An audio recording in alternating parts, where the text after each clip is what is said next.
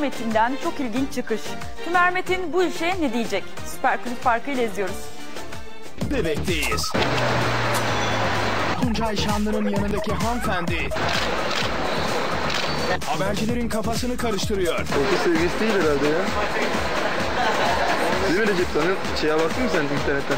Yok Eski futbolcu Tümer Metin'in eşi ee, Var mı soru? Cansu